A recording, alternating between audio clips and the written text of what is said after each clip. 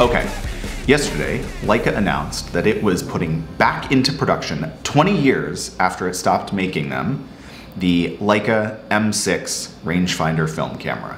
And this is super exciting for anybody who shoots film as the M6 is a legendary, iconic film camera, but it's also not been produced for 20 years. So why is this a big deal?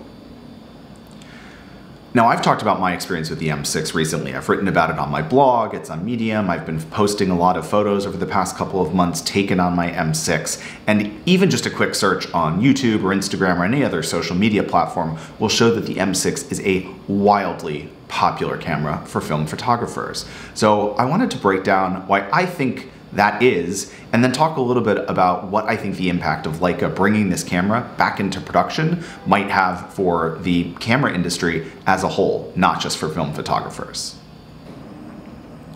So let's talk about quality and craftsmanship. The Leica M6 is made by hand. The original round of M6s were produced from 1984 to 2002.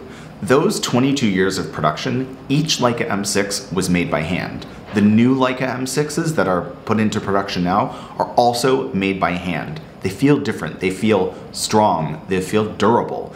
And the precision engineering that Leica is known for is absolutely applied to the production of these cameras. They are built with such a high standard that you know that when you pick up a Leica, in particularly something like the Leica M6, which is a fully manual camera, that it is built to last. With a little bit of love and care, these cameras can last decades upon decades of use. The second is history and legacy. Leica itself is practically synonymous with reportage and street photography. Many of the great, great photographers who were pioneers in their genres, people like Henri Cartier-Bresson, William Klein, Saul Leiter, Bruce Gilden, and many others shoot on Leica. Now the M6 was not available for lots of these people because it only started being produced in 1984, but Leica itself as a manufacturer has a storied legacy within the photography community. Leicas are durable. They have been around the world and some of the greatest photographers all have used Leicas, swore by Leicas. And that legacy, the synonymous nature of a Leica with high quality performance and high level photography is really important as we consider why a brand like Leica would bring a camera like the M6 back into production 20 years later. A big part of that is for the brand name and the history and legacy associated with Leica as a brand.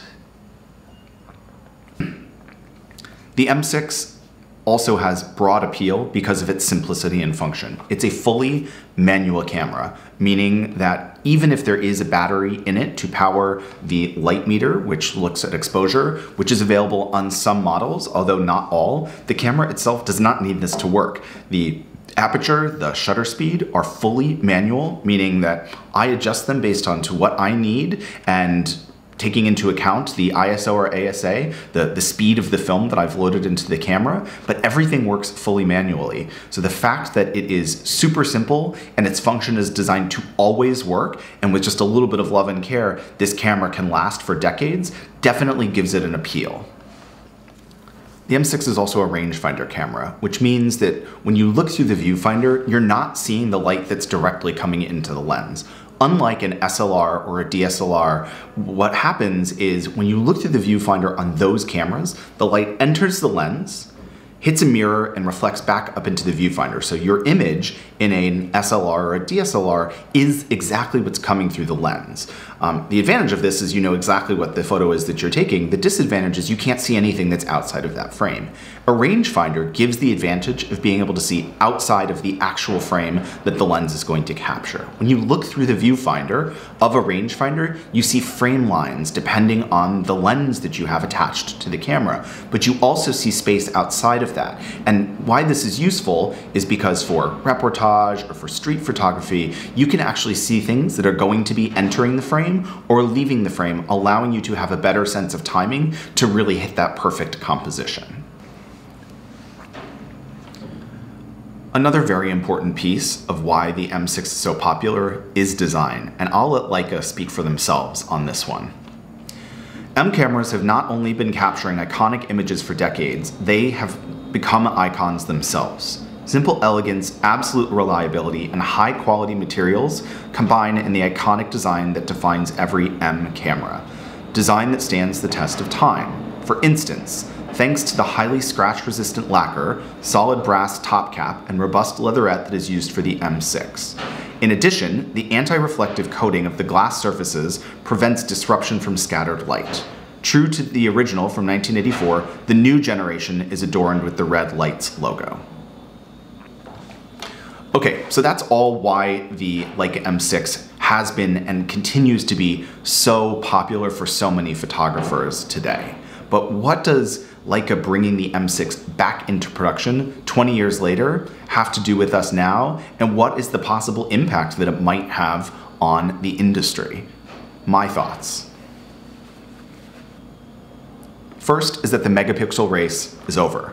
When even an iPhone has 40 plus megapixels and Canon, Sony, Fuji, Nikon, everybody has professional level cameras and beginner level cameras with really high quality, high number megapixel counts. The, the race to have the largest sensor with the most megapixels is, is essentially over.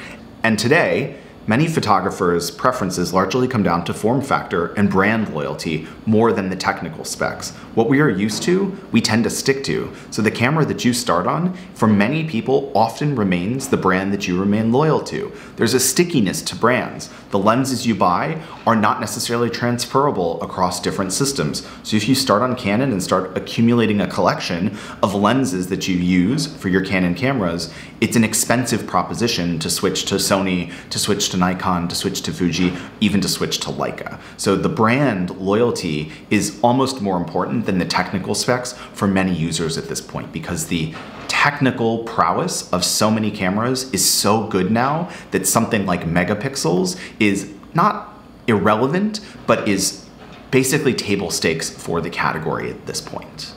I think another impact is that quality is going to continue to become more important than quantity.